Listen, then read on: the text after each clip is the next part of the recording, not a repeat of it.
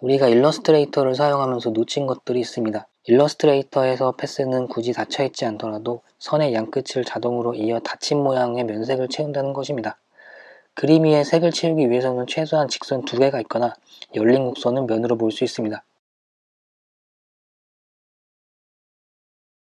캐드에서는 우리가 hatch를 쓰지 않는 이상 선과 선은 결합하지 않아도 되고 캐드는 면을 표현하는 것이 아니라 선으로 표현하는 것이다 라는 심플함이 사람들이 캐드를 몇십 년 동안이나 써온 이유가 되지 않을까 싶습니다. 하지만 이런 루즈함은 3D로 오면 굉장히 골치 아파집니다. 특히 Rhino는 닫힌 커브가 되어야 비로소 돌출할 수 있고 그 판정은 엄격하여 그 조건에 맞아야 하고 Rhino 5부터는 약간의 유연성을 보여주긴 하였으나 정석대로 닫힌 커브를 만든 것과는 다른 결과물을 보여주었고 그 엄격함이 다른 명령어를 만들어 복잡함을 덤으로 가지게 되었습니다.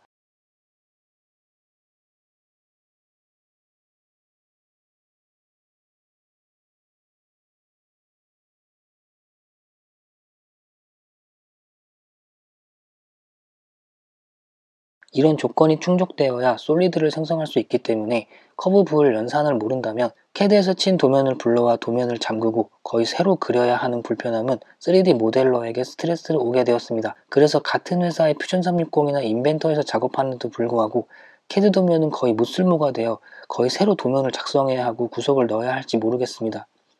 이러한 불편한 방식은 3D Max로 건축 도면을 그린다면 도찐개찐 마찬가지가 되었고 그나마 SketchUp은 캐드에서 꼭 닫힌 커브로 만들지 않더라도 닫힌 공간의 영역을 인식하여 돌출할 수 있었기 때문에 그나마 돌출에 관해서는 SketchUp이 우위에 오를 수 있었습니다. 하지만 SketchUp은 곡선의 개념이 없기 때문에 곡면에 관해서는 Rhino가 우위일 수 있고 렌더링의 여러 가지 효과에 대해서 Max가 우위일 수 있으나 최근에는 V-Ray보다 Lumion의 대중화로 유저는 SketchUp 편에 서게 된 것 같습니다. 우리는 따로 떨어져 있는 커브들을 왜 결합을 해서 돌출을 해야 하는지에 대해서 짚고 넘어가야 합니다. 왜냐면 보이기에는 닫힌 공간처럼 보이기 때문에 그냥 돌출해주면 안 되나라는 생각을 할 수도 있습니다. 물론 결합이 되어 있지 않더라도 닫힌 공간으로 인식하여 돌출을 할 수도 있습니다. 하지만 프로파일의 영역을 선택해 돌출하는 것과 선을 둘러가며 일일이 선택하여 돌출하는 것과는 작지만 큰 차이가 있습니다. 프로파일의 영역이 보인다는 것은 돌출할 수 있는 단계에 왔고 너는 돌출하여 솔리드를 만들 수 있다는 것을 말해주는 것이기 때문에 profile 영역이 보이지 않는다면 돌출을 할 수 없다는 것을 말해주는 것이고 돌출을 하여 왜 solid가 되지 않는지 긴가민가한 것보다 내가 닫힌 영역을 만들지 못했구나 하며 나의 실수를 빠르게 인지할 수 있다는 것입니다. 꿈돌이의 퓨전 360의 자작나무 스탠드 예제는 이런 Rhino의 불편함을 풍자하여 하나의 스케치에서 여러 개의 profile을 생성하여 돌출하는 모습을 보여줍니다. 그러므로 profile 영역이 생성되는 모델링 프로그램은 사용성으로는 편하나 반대로 고사양의 PC를 써야 할 수도 있고 반대로 profile 영역이 라이브로 보여주지 않는 소프트웨어는 저사양의 PC로도 원활하게 운영될 것이나 내가 스트레스 받을 것입니다. 꼭 평면의 커브 이어야만 solid에 돌출을 할 수 있는 것인가요? 꼭 그런 것은 아닙니다. 하지만 우리가 모르고 있는 것이 있습니다. 평면의 커브는 이미 평면의 영역이 면인 것이고 그걸 그대로 돌출하여 solid를 만들 수 있으나 곡면의 닫힌 커브는 면을 채울 정보가 없기 때문입니다. 그래서 곡면의 커브를 돌출하여 솔리드를 만들기 위해서는 곡면의 정보를 먼저 컴퓨터에게 제시해야 합니다.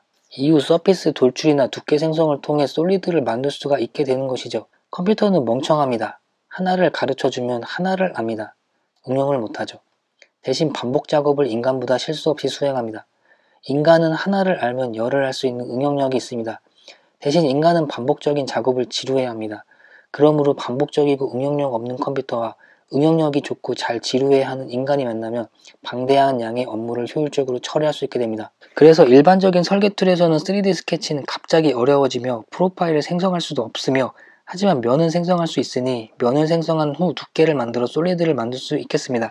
만약 옆면만 있고 윗면이 없어 솔리드가 되지 않는 상황에서 솔리드를 만들어야 하는 상황이라면 방금 제가 말한 모델링의 순서 3D 커브로부터 윗면을 채우고 두께를 생성하는 프로세스를 방정식으로 만들어 역으로 옆면으로부터 윗면을 만드는 방식을 사용해야 합니다. 만약 윗면이 사각형인 경우 채울 수 있는 경우의 수는 많지만 오각형 이상의 곡면을 생성해야 하는 경우 패치를 사용하거나 오각형을 쪼개 사각형 이하의 면들을 조합하며 솔리드를 만들어 나가야 할 것입니다.